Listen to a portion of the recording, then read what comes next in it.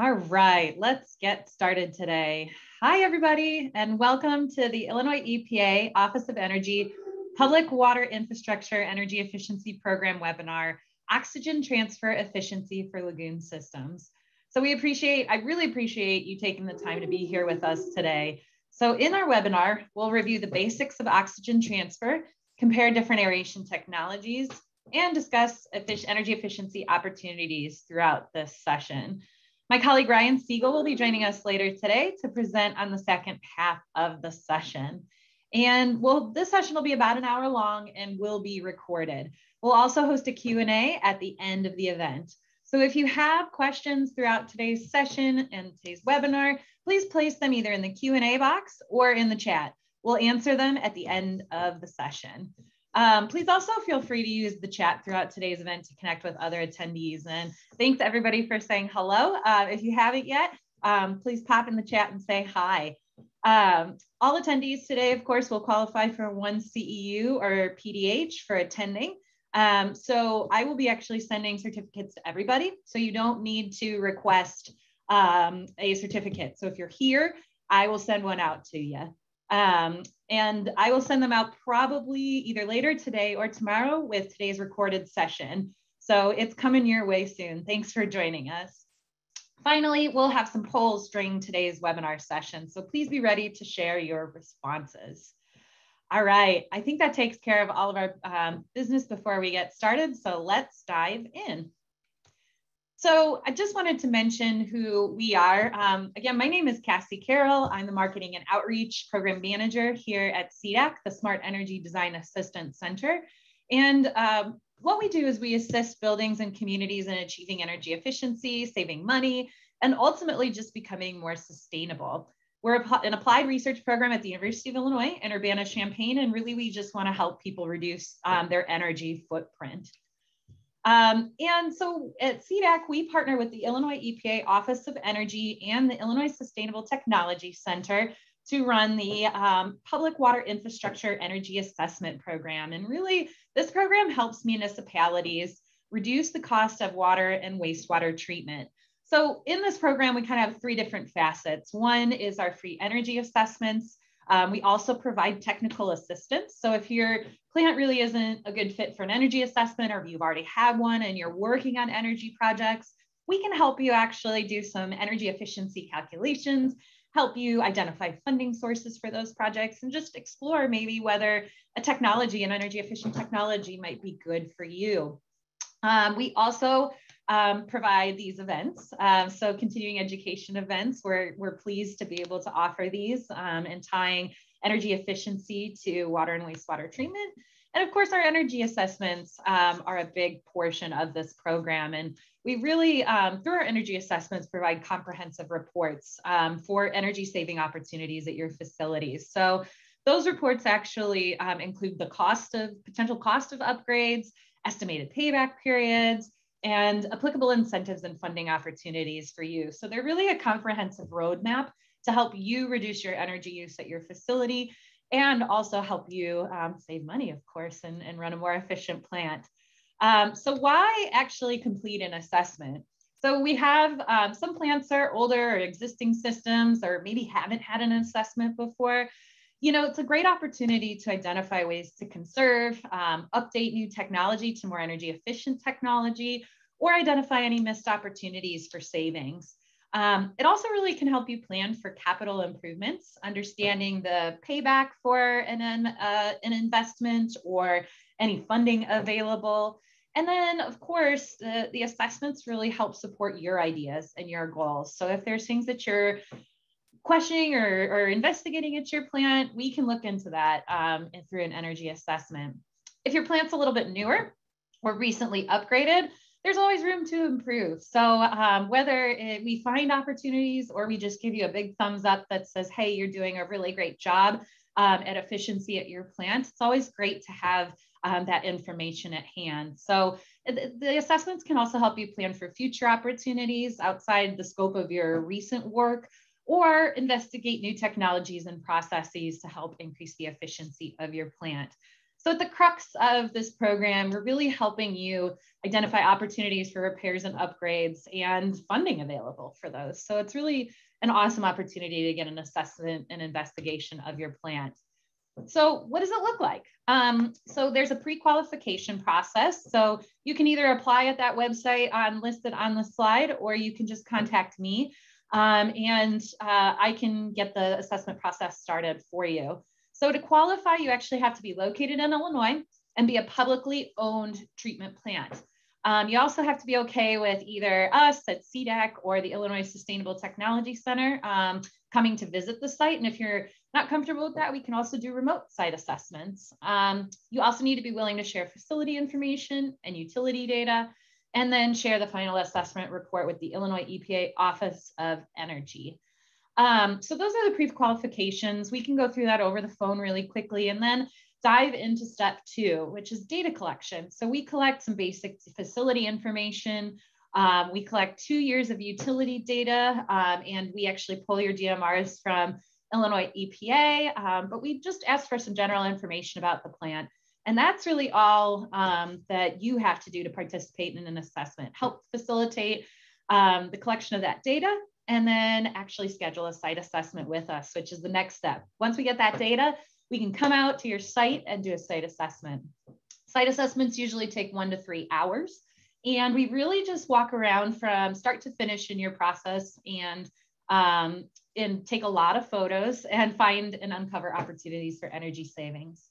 We then go back, create a comprehensive report, present that to you, and then that can be your tool to integrate energy saving opportunities. So if you're interested, um, again, you can apply on our website or reach out to me and I can get you rolling. Probably takes about a half an hour to collect the basic data and go through those pre-qualification questions. Um, and then we can get started towards the assessment. So it's a great opportunity, great idea, and it's no cost. So take advantage of it if you would like. All right, so let's dig into our um, content for today. We're going to do a quick review of some of the points from our previous presentation on aeration and energy. So if you participated in the first session of the series, this will be a nice refresher. Um, and if you didn't attend the previous presentation and you're interested in learning more, those presentations are actually available on our website. Um, I will pop those in the link uh, later in, or that link in the chat later in today's session. So let's do a quick review.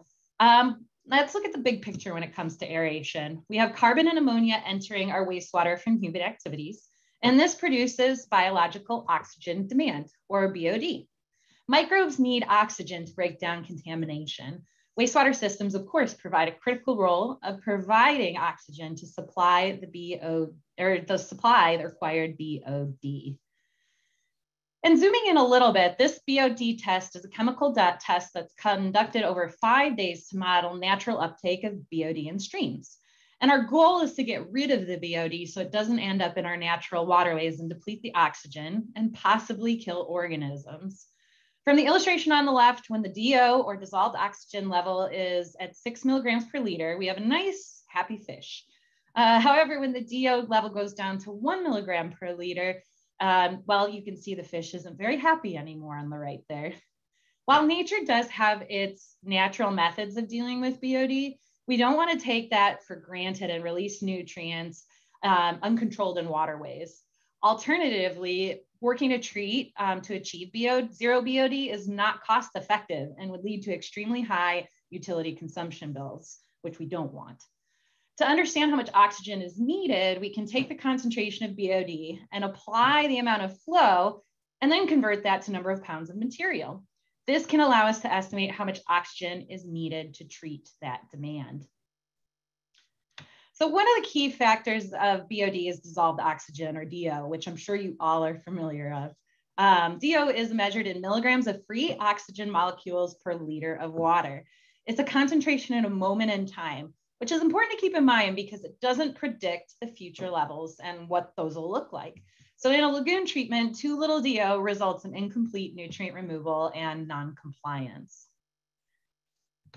Oxygen transfer rate is the rate at which a system is dissolving oxygen into water. So this is how much your oxygen uh, or how much oxygen your blowers or aerators are putting into the lagoon or how much area your surface aerators are bringing into the lagoon.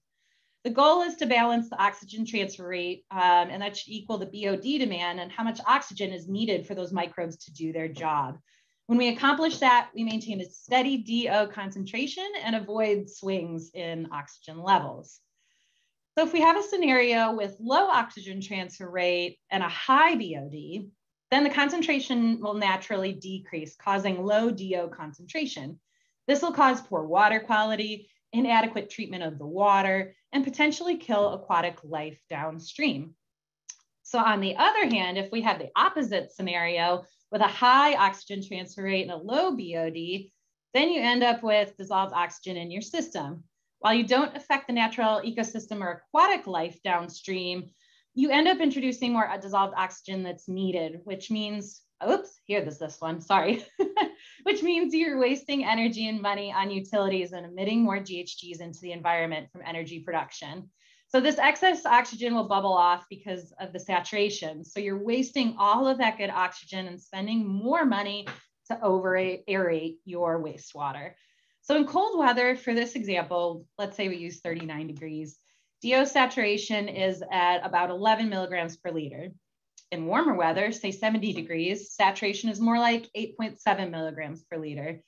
You know, a lot of us are aiming to maintain that six milligrams per liter of DO. And if we're significantly above that on a regular basis, we're really wasting a lot of energy and not actually improving our treatment.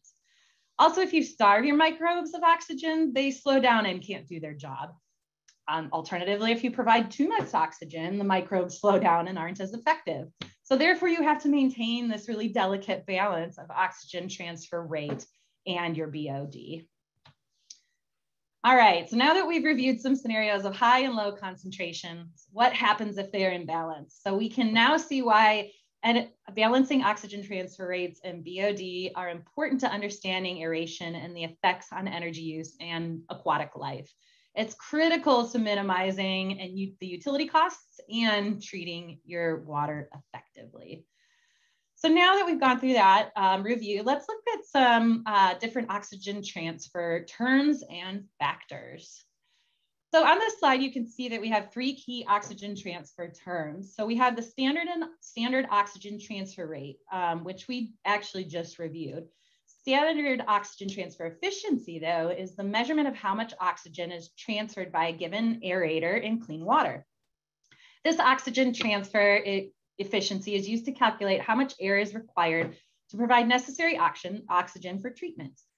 A high efficiency indicates less air required, and theoretically, all oxygen supplied will be transferred. But of course, that's unlikely. Oxygen transfer efficiency can be calculated by taking the oxygen transfer rate and dividing it by the oxygen supply rate. We also have our standard aeration efficiency or SAE. The aeration efficiency can be calculated by taking the standard oxygen transfer rate and dividing it by the blower power input. SAE is used to compare the energy efficiency of different aerators, and this will also allow you to analyze the operating costs of uh, different aeration technologies. So to increase our aeration efficiency, we wanna reduce the blower power input, which can be done through blower selection and blower speed management. You know, and these efficiencies are also impacted by bubble size, contact time, and mixing. So those are the key terms. Um, let's go into a little bit about correction factors. There are many correction factors um, that you can use when calculating aeration efficiency, but we're gonna focus on three of those today. So first we have the alpha factor, um, and that's also known as the contamination factor. It's the ratio of processes or processes to clean water uh, mass transfer. It accounts for the contaminants in the wastewater and is impacted by soaps and detergents. The significance of the alpha factor is really dependent on the contaminated located or the contaminants located in the wastewater. Higher alpha values indicate better oxygen transfer performance. Fine bubbles have a large surface area relative to their volume, understanding that the transfer interface is only at the bubble surface, and thus effectively would have higher alpha factors. However, they're more prone to interference by surfactants or surfactants, such as soap and detergents, that reduce gas transfer across the air liquid film of a bubble. Small bubbles also rise more slowly, reducing the ability to mix and contact more microbes in the water. This can also suppress the alpha factor for fine bubbles as surfactants can build up uh, more easily. So the increased rise, speed, and turbulence created by larger bubbles reduce that surfactant coating of the air bubble and maintains a higher alpha factor. As water gets cleaner, the aeration alpha factor will improve. This contributes to why most lagoons have a tapered aeration strategy, with more aerators in the primary lagoon and fewer, if any, in the polishing lagoon.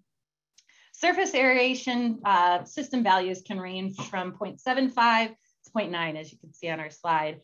Uh, fine bubble aeration tanks, the alpha value can range from 0.4 to 0.7, and coarse bubble aeration tanks, the factor can range from uh, 0.6 to 0.95. All right, so let's go to the beta factor. It's also the saturation factor. It's actually used to correct the dissolved solids or for the dissolved solids in wastewater.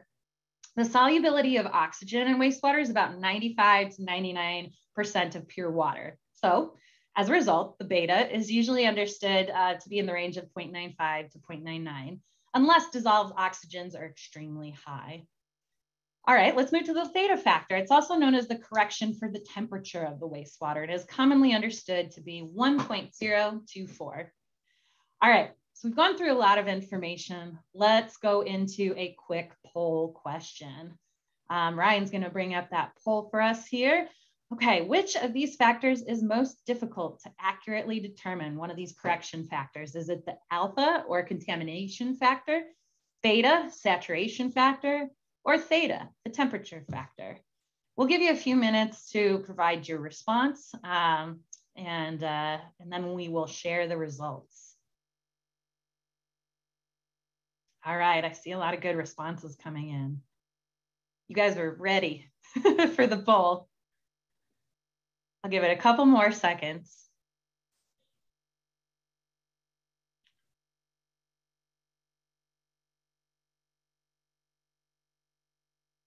All right, I see some more coming in. All right, Ryan, if you want to close that poll here, we'll share the results. All right. The correct answer, which most of you got, was the alpha factor, the contamination factor, because it's really dependent on soaps and detergents. Um, you know, it's really difficult to test for those and usually is the most variable factor. You know, you the, any concentration of wastewater can have a different amount of soaps and detergents in, in the water. So Great. Well, thank you for participating in the poll. Um, we'll have another couple coming up here soon. All right. Let's go into the actual oxygen requirements. So here's an equation um, for those requirements, and you can see where those little correction factors are located in the equation. Um, they're highlighted on the screen. So the alpha, beta, and theta factors. You can see how each of these correction factors really play a role in determining the amount of required oxygen for proper wastewater treatment. These factors are not only critical for designing systems, of course, to meet their oxygen requirements, but they're also important factors to consider when investigating operational efficiencies and plant upgrades. All right, another correction factor to consider, whoops, I think I skipped a slide, there we go, is fouling. On the top right image, you can see diffusers that are in good condition in the bottom range, these diffusers, uh, these are diffusers with signs of fouling. Foul diffusers lead to an increase in increased frequency of pressure drops, also known as dynamic wet pressure. Fouling is likely to lead to an increase in energy consumption in order to overcome those high pressure drops. Foul diffusers also cause oxygen transfer rates of diffusers to decrease. Because the diffusers are fouling, it may cause issues with maintaining the ability for the plant to remain at its rated capacity. So on one hand, we've seen that most plants are designed with a higher capacity when needed to accommodate future growth.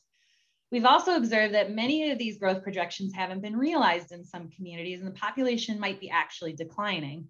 This leaves us with plants that are grossly oversized for their needs and using way more energy to maintain their plant's capacity even though the plant is not even near its full design capacity.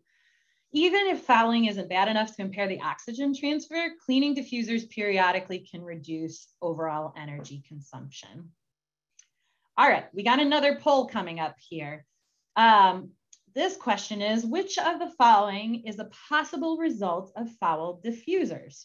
Um, please select all that apply, or um, actually just select your best guess. It's a single choice. So large pressure drops, decrease oxygen transfer rate, with blowers may surge, or is it all of the above? I'll give you a, a few seconds here to respond. All right, I love seeing these responses come flowing in. Thank you. We'll give it a couple more seconds.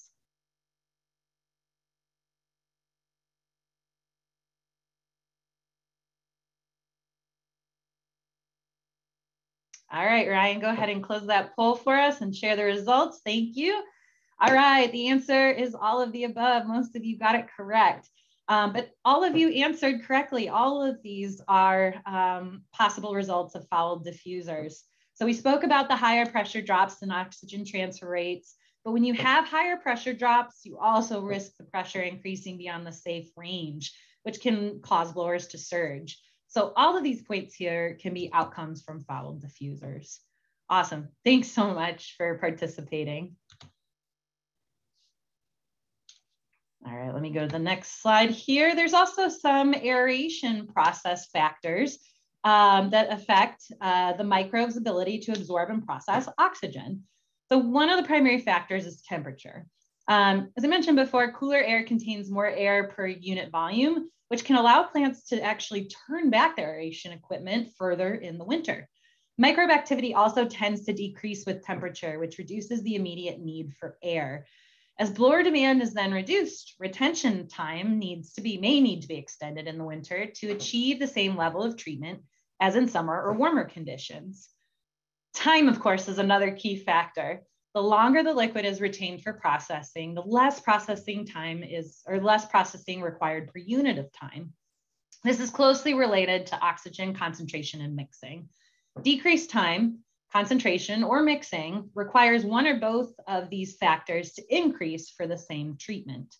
Decreased activity of microbes also reduces the immediate need of air and aeration. Aeration technologies and diffuser placement also have a substantial impact on oxygen transfer rate. And Ryan will be speaking on these factors later today in our session. Finally, let's talk about aeration cycling. Depending on the type of equipment at your plant, you may want to consider cycling your basins between oxic and anoxic. We've seen many plants with oversized equipment that aren't able to turn down and they end up operating closer to DO levels that are four to six milligrams per liter rather than the target of two to three milligrams per liter of DO. Cycling can reduce energy costs by allowing the BOD to absorb the additional oxygen, bringing the DO levels down, and then cycling the aeration to change the basin or to charge the basin with oxygen. So typically, we've seen these operate for an hour on, three hours off, giving you about six cycles per day. So that might be an option for your type of plant as well. Okay, so let's dig into some aeration technology comparisons. And I'm actually going to turn it over to my colleague, Ryan, um, to talk about different technologies. Thanks, Ryan. Thanks, Cassie. Uh, looking at some of the, did we lose our screen here? One moment. There we go. Uh, looking at some of the different aeration uh, technologies, one benefit that we do see uh, in, in one feature, you know, before we dive right into uh, technologies and trying to throw technology at, an issue, uh, you know, best to see what natural or, or passive opportunities may exist uh, as they can operate regardless of the availability of the utility. You know, so one benefit that, that most of you probably see uh, with your lagoons over, you know, activated sludge counterparts is the ability to uh, have such a large surface area, uh, which uh, can be useful for uh, providing that aeration interface uh, between the, the oxygen and the water. And so, you know, activated sludge systems, since they have a fairly low surface interface area, you know, typically have to add uh, substantial quantities of air uh, now, for lagoons, because they do have uh, a larger surface contact area, you know, that can allow for much more uh, natural uh, interface to occur.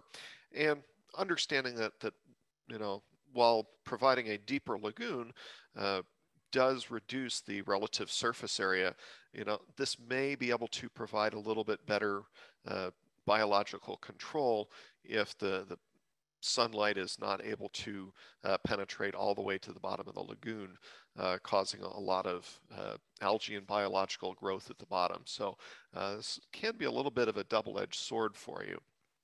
You know, one other uh, feature is uh, algae can be very useful as far as providing some of that treatment.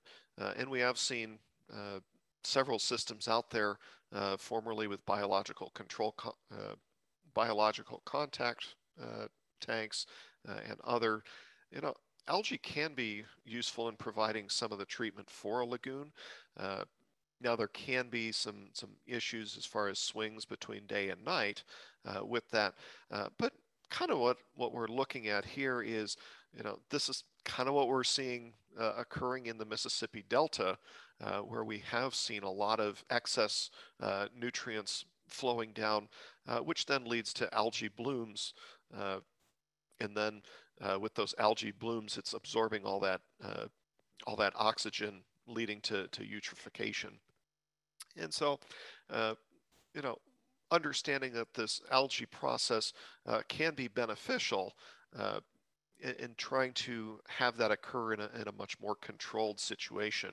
So as we're noting here, algae does boost your oxygen levels during the day, uh, but unfortunately at night it's absorbing that oxygen uh, out of the water. Uh, so what we could be able to do with that is, you know, lagoons might be able to uh, benefit from adding air in the uh, at night to compensate for that algae trying to absorb that oxygen out of the lagoon. And so kind of uh, running the lagoons almost on an off cycle or an off peak cycle, uh, which may also be helpful to your local grid too.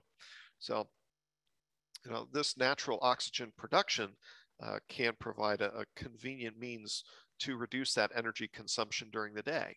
Uh, so, and understanding that, you know, with this uh, cycling, you know, this dissolved oxygen can vary rather dramatically over a 24 hour period.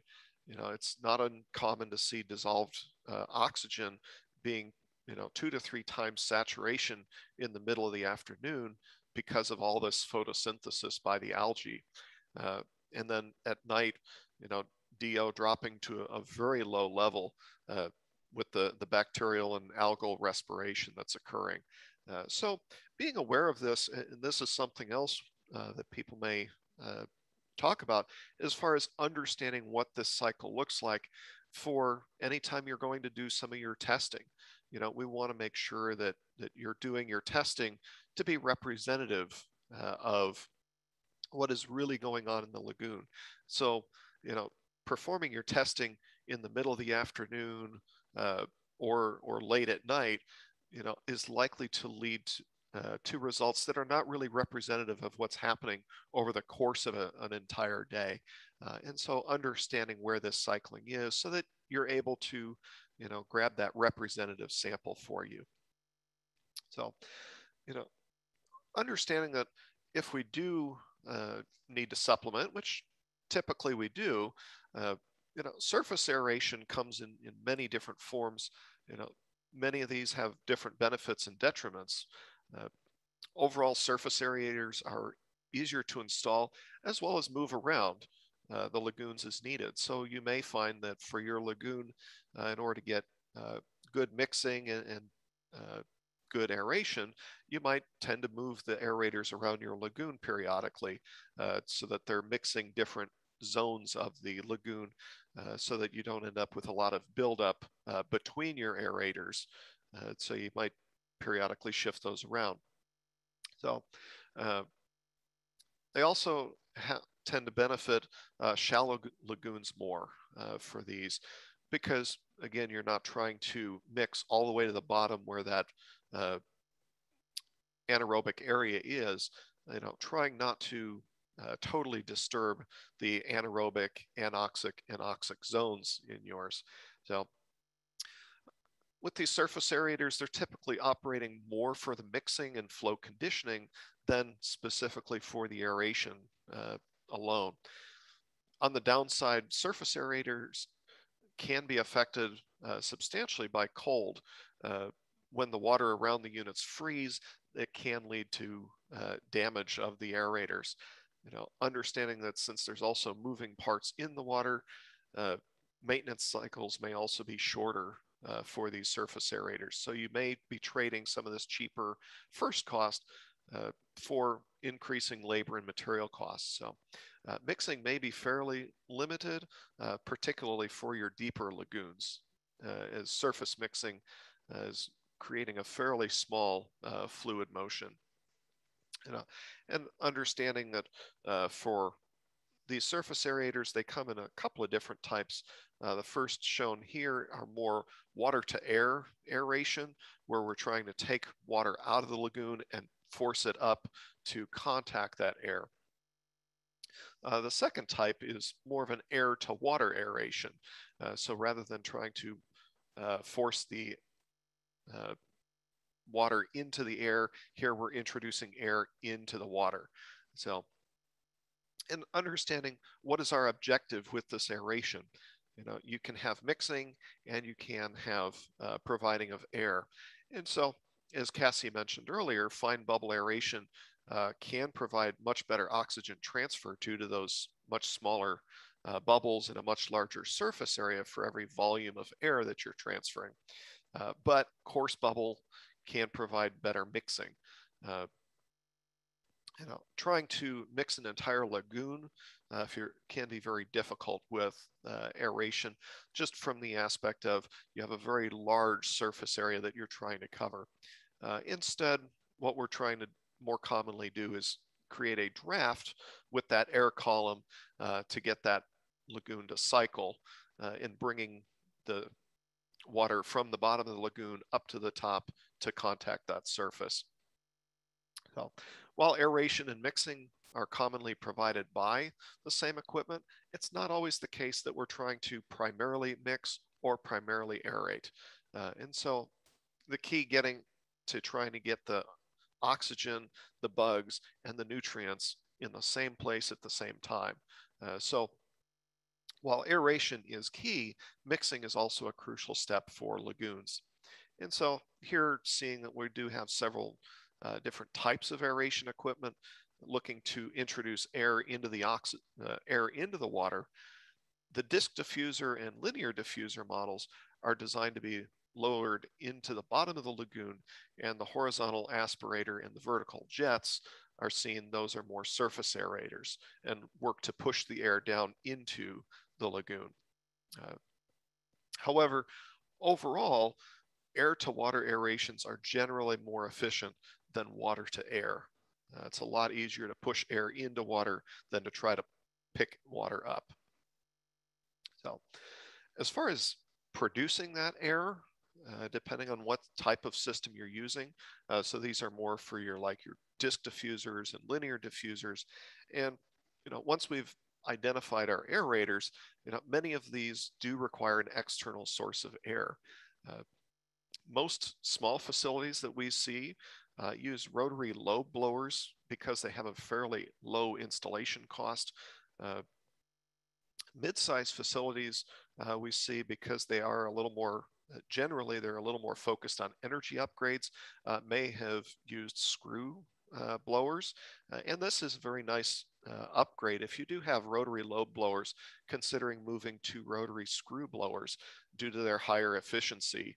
Uh, both of these have some very good turn downs because they are both positive displacement units. and which allows them to provide the same pressure regardless of the speed and the flow which can dramatically, uh, these systems also can dramatically reduce their noise uh, levels as the speed decreases. So commonly the limiting factor we run into here is the heat dissipation uh, that's, a, that's being transferred into that air uh, under a certain threshold. You may have difficulty trying to transfer the heat out of the motor into the air to go out to the lagoon. Uh, and so building up the heat in the motor can be very uh, detrimental. So,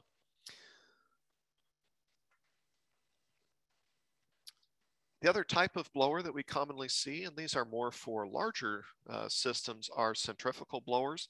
Uh, these could be either single or multi-stage. Uh, these operate generally at a little bit higher efficiencies uh, than their positive displacement counterparts. However, they're impacted uh, substantially by uh, the ambient entering air conditions, whereas positive displacements are a little uh, less impacted by that. And the other common issue is the amount of turn down that you can get. You know, how far can you back off the blower before you start to enter some of these surge conditions? So, uh, turbo blowers are, are now more available in smaller sizes than they previously were. Uh, and they can ver have very high efficiencies.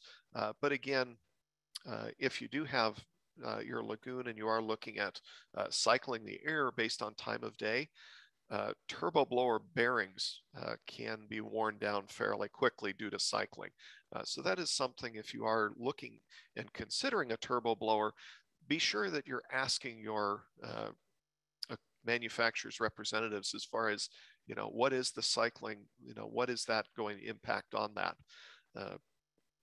and so making sure that you're understanding not not just what is the efficiency factor uh, today, but what is that maintenance going to look like long term?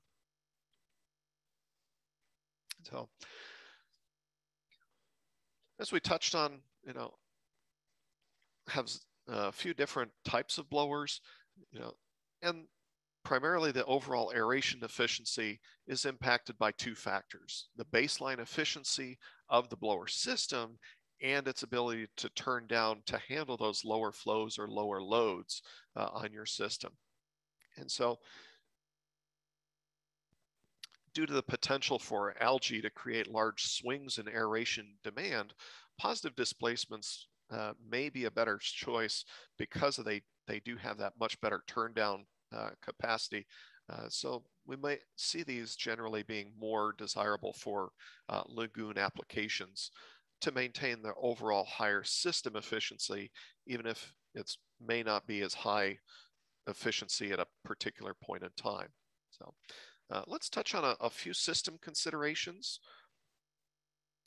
Uh, understanding that aeration is an overall system, we want to make sure that we are uh, considering all the different points along the chain.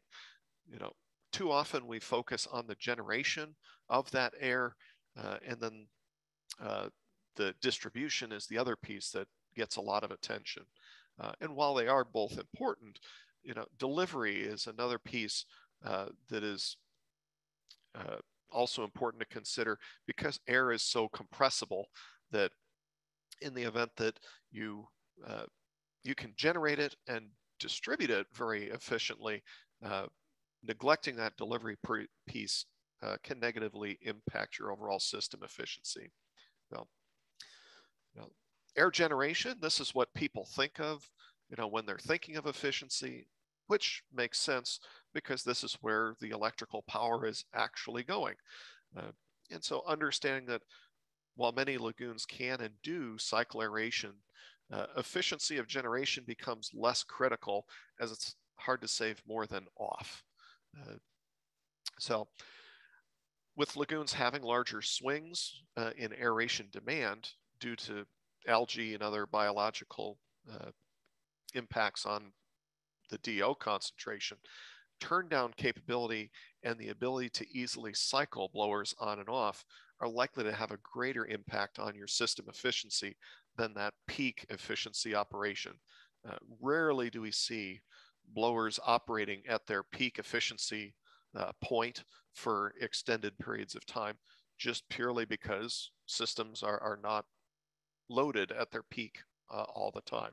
So, you know, again, you know, understanding that even though the, the peak efficiency of positive displacement blower systems is commonly lower, uh, because they're commonly low operate at uh, part load, they may end up having a, uh, better system efficiency over the course of the whole year uh, than their centrifugal counterparts. So, the other side of this is understanding, you know, we're trying to get air from the generation out to the system.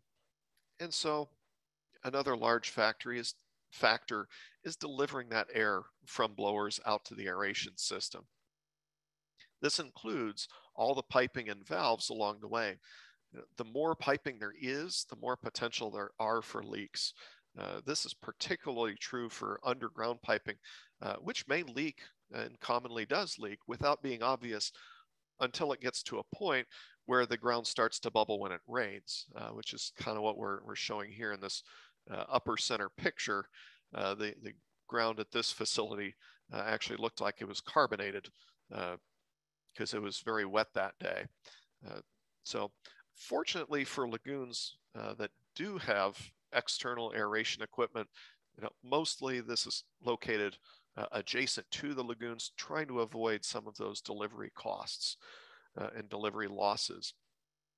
So if you presently do have uh, remote aeration systems, and then that is piped all the way out to your systems or out to the lagoons, you might consider uh, relocating those aeration systems when the time comes uh, to replace or upgrade uh, your aeration system to avoid some of those future headaches from piping losses. Uh, we've also seen several facilities that, you know, if they were unable to uh, relocate uh, the blowers to be more proximate to the lagoons, they've switched from underground piping to above ground piping, which makes leaks easier to identify and make the repair without having to dig up a lot of ground. The other side of things is uh, not going to go into this in a lot of great detail, uh, but I do have a, a couple of uh, slides here later on. Uh, but understanding that the, the piping length can be very dramatic as far as you know how much pressure loss and, and how much of that uh, pressure band that you're using up. And so understanding that minimizing the 90 degree bends and elbows uh, can reduce your effective piping length. Uh, you know, the photo on the right has really taken this, you know, to more of an extreme. You see there's very few uh, 90 degree bends and, and, they've really tried to make the piping as short and uh, short and straight from point A to point B as uh, possible. So this is something that uh, lagoons that do have uh, either direct injection air with aspirating mixers uh, or some other locally generated air source does avoid a lot of these distribution losses. Uh, however, they're a, generally a little less uh, efficient than your subsurface aeration. Uh, so that's where trying to strike that balance of, you know, am I looking at this from the overall system perspective, which one is going to be better? with direct aeration, uh, here is noting where typically we do see lower efficiency for oxygen transfer, uh, but this does have a few unique benefits. Uh, many of these systems are capable of separating the mixing from the aeration energy, so you can cycle the aeration uh, independent of the mixing, uh, which can increase the overall aeration efficiency uh, by turning off the airflow once you have your, your DO established. Uh, and the surface aerators, again, more easily relocated than the subsurface diffusers uh, and can easily, more easily be adjusted uh, to compensate for issues. You know, you may have some sludge islands develop uh, in trying to mix and break those up, uh, which may lead to uh, short circuiting of lagoons and other problems if you don't address those.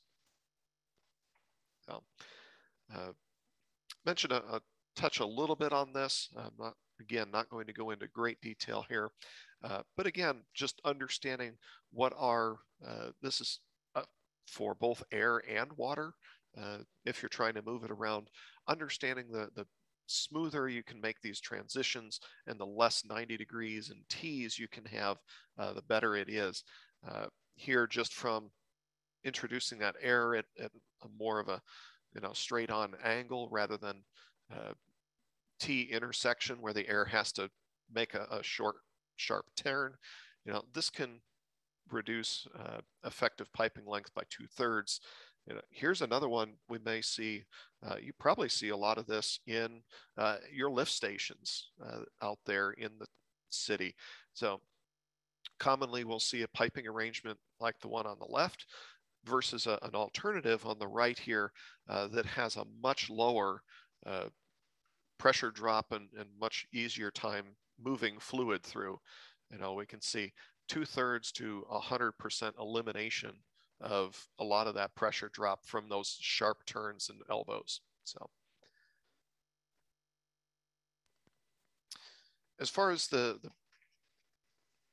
aeration placement, as the fluid rises, new fluid needs to enter to take its place, which this can cause the lagoon to churn. Uh, and the churn can actually be beneficial uh, and can change depending on where your aerators are located.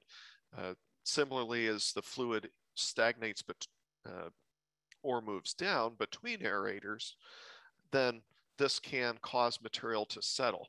Uh, again, that can either be a benefit or a detriment to you, depending on uh, what you're trying to achieve in that area. So, but lagoons, uh, while they're very good at, at, settling, they may need some help circulating that material to maintain that uh, contact. So understanding that the bottom of lagoons typically are uh, anoxic and, and, sometimes they can be uh, go so far as to be anaerobic. Some flow and mixing uh, can carry nutrients provided by those microbes in oxic areas to those wanting them further down in the anoxic or anaerobic areas. You know, we don't necessarily want to bring oxygen into the anaerobics, uh, anaerobic areas, as anaerobes don't do well in oxic environments. Uh, but having that uh, those nutrients move around so that all the different microbes can get what they're looking for and the different microbes in the different regions transferring uh, those nutrients between zones can be very beneficial. So, while activated sludge systems commonly work to achieve you know, full diffuser coverage as seen on the lower right here, you know, trying to do that for a lagoon would be very expensive, both in first cost and in the energy consumption and cost, just due to the surface area that you're trying to cover uh, with these aeration beds. So it's also unnecessary given the capacity and the large surface interface that lagoons naturally have. And so instead, what we see much more common and cost effective is to have a handful of aerators across the lagoon surface working to induce that flow pattern uh, to get that induced mixing and flow. And understanding that lagoons can further manage flow and mixing uh, through valving uh, or even cycling of different aerators at different times, uh, if that's provided in for in that design. Aerator lo locations, you know, each make and model of aeration can provide, and, and sometimes that's even depending on how deep they are, can provide different flow and impact patterns, uh, particularly uh, given that depth of your lagoon. So understanding that what we really want to make sure that we're avoiding is short circuiting of your lagoon, as this effectively cuts the size of your actual effective lagoon down and doesn't provide your long detention uh, capacity that is normally attributed to lagoons and quite beneficial. Uh, here we're, we're showing a diagram in red where uh, the influent on the left-hand side uh, in red, you know, if can easily uh, just travel directly across this lagoon. Uh, and short circuiting of a lagoon can be uh, impacted depending on, uh, as we note here, wind direction and sludge accumulation. Uh, and so helping to use those aerators to break up and disrupt any of these short circuit flows uh, can be very beneficial for you. So with that, I've got another poll here. This is what is the most effective aeration in terms of oxygen transfer? Uh, surface splashing, subsurface diffusers, or subsurface aspirators. Again, this is for oxygen transfer, what we're trying to do here.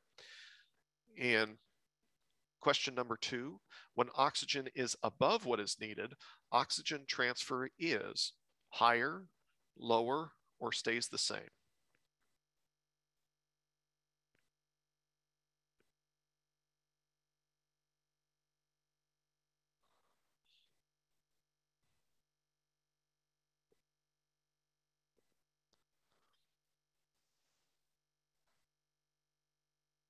Give a few more seconds here.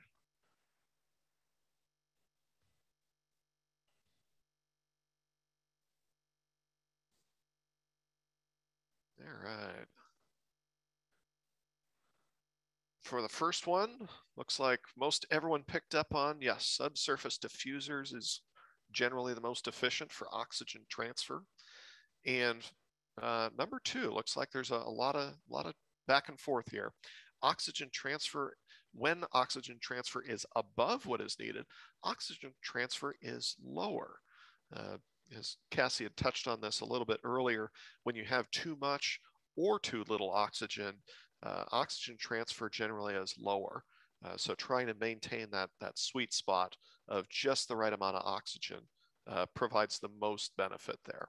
So a lot of confusion on that last one, but so cover a, few takeaways here. So make sure that we hit our high points here. You know, as we noted earlier, pressure is typically our limiting factor for centrifugal and, and turbo blowers, uh, but they can take advantage of affinity of the affinity laws that positive displacement blowers cannot. Uh, but positive displacement blowers uh, can produce flow regardless of pressure. So uh, positive displacement uh, can have a much better turn down than centrifugals, uh, even if they're not able to take advantage of those affinity laws. And so uh, understanding that if you need a lot of load flexibility, you might combine uh, some blower technologies. So you might have a centrifugal or, or turbo blower for a higher load and then have a positive displacement blower uh, that handles for times of lower loading. Uh, so you might try to, to work that to get the best of both worlds in there. And what we see here, uh, this plant looked at, uh, chose to go with a multiple blower setup. Uh, so here they can stage these blowers in increments uh, to get what they need. So, and with lagoons, uh, you know, take advantage of your natural oxygen sources wherever you can, because natural oxygen sources uh, commonly are going to be a very low energy uh, and very energy efficient method for uh, aeration. So uh, with that, we do have a few uh, webinars coming up that uh, Cassie's going to talk a little bit more about here. Great, yes. So we do have to, this was the second installment of a three-part series on aeration and energy. Um, we have two more webinars coming up in January, um, but they're focused on control strategies for aeration. So the uh, event for um, uh, lagoon systems will be January 25th. And uh, I'm going to send the link here in the chat in just a moment um, for you all to sign up if you haven't. I'll also share it in a message as well following up um, on this event. Um, so we also have a couple other um, things to share. So the USDOE um, actually um, launched a wastewater cohort to help plants um, navigate actually meeting 50,001 certification. So it's helping with energy management and benchmarking for wastewater systems and cohorts can be groups of sites or municipally um, owned plants, but um, it's a great opportunity to take advantage of free technical assistance and learning from other plants about how they manage energy at their facilities. So if you're interested, um, I will send out these slides afterwards and I'll send I'll share the link, but please feel free to investigate that if you're interested. And then also um, the University of Illinois Chicago has an event coming up, which I'm putting the link in the chat now. But they have a webinar on developing environmental offsets for anaerobic digestion projects. And they're featuring a case study from Des Moines um, Metropolitan Wastewater Reclamation Authority um, and renewable gas upgrades. So there will be three speakers, and they're going to talk about how they've um, partnered with wastewater facilities on anaerobic digestion. Now, I know this isn't terribly applicable to lagoons, but if you're interested in learning, um, the opportunity is available. So please feel free to register. Um, it'll be the 8th of December at 10:30 a.m. and there will be um, one CEU available for participants. So just wanted to let you know about that upcoming event as well. And then finally, um, there's that date for the lagoons. Um, please feel free to register for that. I'll send you reminders as you know closer to the date as well. All right. Um, again, this session will be recorded or has been recorded, so we'll provide it afterwards as well. Let's dig into some questions. So we actually do have a comment here from Ben. Um, it's important to note that VFDs applied to blowers generally lead to higher discharge temperatures. This becomes important when deciding when to where to transition to HDPE from DIP or stainless. This is an important role or an important note when looking at retrofits as the last thing any of us want to do is melt someone's air header. A good point, Ben. Thanks for bringing that up. Ryan, do you have any additional comments on that? Uh, not, not in particular, but uh, we, we have seen a lot of plants looking to uh, transition to uh, alternative piping uh, rather than just relying on welded steel. So that's that's a very good point to, to bring up that uh, be be cognizant of your uh, air temperatures because yeah, as, as you're backing off uh, airflow, you know you're now adding he more heat to a smaller volume of air, so that that can raise your your raise your temperatures. So that's a very good point to bring up. Yeah, definitely. Thank you. And um, Ben also noted, as you're working with Illinois EPA, are they making any comments about bringing ammonia or phosphorus limits to the state? We actually don't work with the regulatory side of Illinois EPA. Illinois EPA Office of Energy solely focuses on energy efficiency, but that is something that we can ask um, Illinois EPA Bureau of Water to see um, what their comments may be. So let me let us dig into that a little bit and, and get back to you. Ryan, have you heard anything? Uh, we have had several facilities talking about that uh, in their their upcoming uh, permit discussions with Illinois EPA. And so that is something that, that is a consideration as we're uh, out on site doing uh, assessments is taking a look at and seeing what uh, opportunities or, or, what understanding what that impact is likely to be. Uh, we see a lot of uh, facilities where adding that phosphorus removal is actually reducing the load of their aeration system uh, going forward. So blowers that may presently be oversized uh, in order to achieve that phosphorus removal are going to be dramatically oversized. Uh, and so that's where uh, doing sometimes doing some of these uh, more advanced removal techniques uh, can actually treat water better for even less money than you do today. That's a great comment, Ryan. Thank you for that um, information. Cool. Well, does anybody have any more questions? We still have a couple more minutes. Uh, if folks have questions or comments that they'd like to share. Um, thanks for everybody who commented in the chat as well. All right.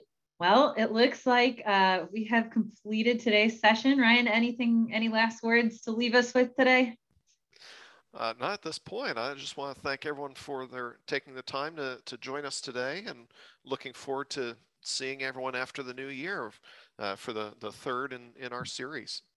Awesome. Yes. Thank you so much for joining us. Again, today's session was recorded and I will send out the recording after um, once it is uploaded to YouTube. Um, also, again, just to reiterate, I will provide everybody that attended this webinar with a CEU certificate and course number. Um, so don't worry, it'll be coming shortly to your inbox. If you have any questions in the meantime, please feel free to reach out to either Ryan or I. Um, and we look forward to helping you in your energy efficiency journey. So have a wonderful holiday season and we'll see you in the new year. Take care, everybody. Thank you for joining. Bye bye.